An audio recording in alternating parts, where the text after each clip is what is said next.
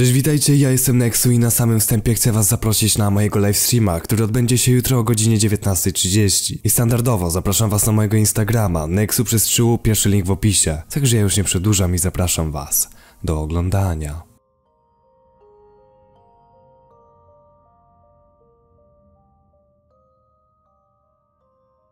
Kiedy podejmiesz ryzyko wejścia do Dark Webu, możesz tam spotkać osoby, które zajmują się hakowaniem. Użytkownik Gerard 1995 zauważył, że są w Dark Webie takie granice, których lepiej nie przekraczać. Spotkał tam człowieka, który może cię schakować i wrzucić na twój komputer straszne rzeczy, przez które pójdziesz do więzienia. Nie zadzierałbym z takim człowiekiem. Oczywiście takich osób jest więcej. LeminKainen.pl napisał, że tak się stało kilku starszym osobom z jego miasta. Ich komputery zostały schakowane, dokumenty skradzione i byli zmuszeni dać hakierowi i byli zmuszeni dać hakierowi pieniądze albo ukryją na ich komputerze zainfekowane pliki. Zdarzało się tak często, że lokalne władze rozwiesiły ulotki o ostrożności w internecie, a gdy już to się stanie, mają to jak najszybciej zgłosić na policję.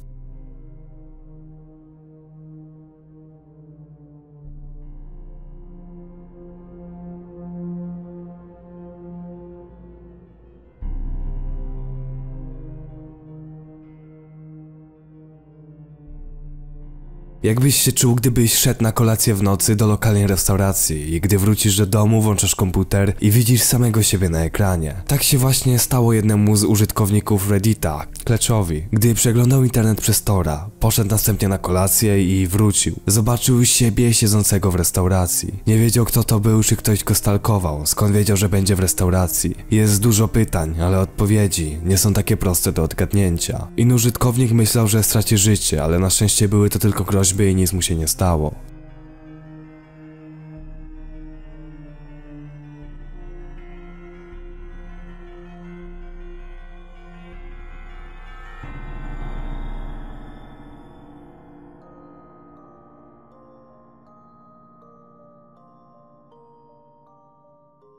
Jakiś nieznany użytkownik podzielił się doświadczeniami związanymi z jego drugim wejściem do Dark Webu. Mówi to mnie bardzo zszokowało, te wpisy o eksperymentach na ludziach. Byli to bezdomni albo inwalidzi. Inny anonimowy użytkownik Reddita napisał, że rozumie sceptyzm na temat historii z Dark Webu i że większość z nich jest prawdziwa. Użytkownik wskazuje na jedną, która była tam opisana 60 minut. Winowajca zrobił bardzo złe rzeczy, które zostały nagrane i wstawione do internetu. To pokazuje, że niektóre z najbardziej zdeprawowanych i oburzających rzeczy naprawdę się zdarzają, w tym eksperymenty na ludziach.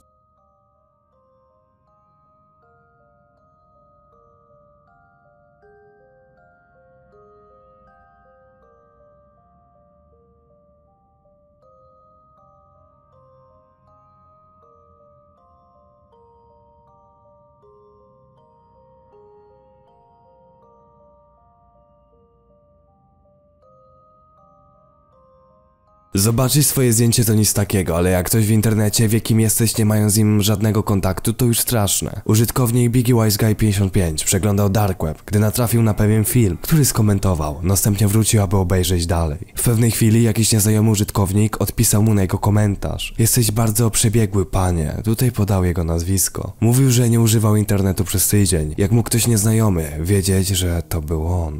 Takie pytanie zadał jeden z użytkowników Reddita. Dostał wiele odpowiedzi, w tym od osoby o niku Beast. Jest bardzo łatwo znaleźć kogoś w internecie, nawet na dark webie. Na to odpowiedziała inna osoba. Ludzie są leniwi, w internecie używają wszędzie tych samych loginów i haseł. A potem informacje są łatwo dostępne w internecie. Trzeba mieć nadzieję, że nie będziesz następny.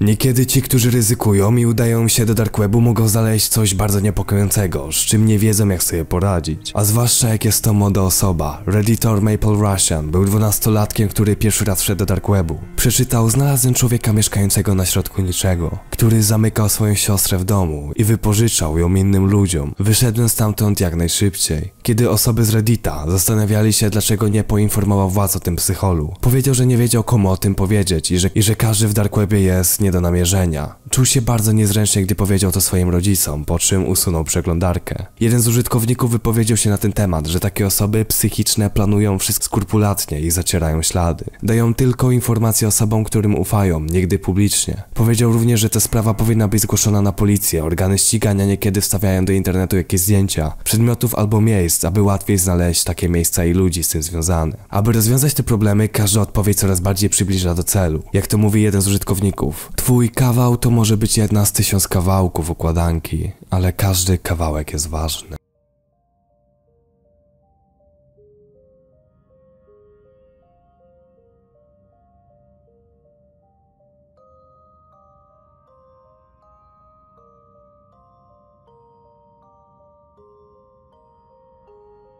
Także to by było na tyle w tym odcinku. Nie zapomnijcie paść na mojego Instagrama oraz strzelić łapkę w górę. Także nie zabieram wam poranka, południa czy też wieczoru. Trzymajcie się, na razie, cześć.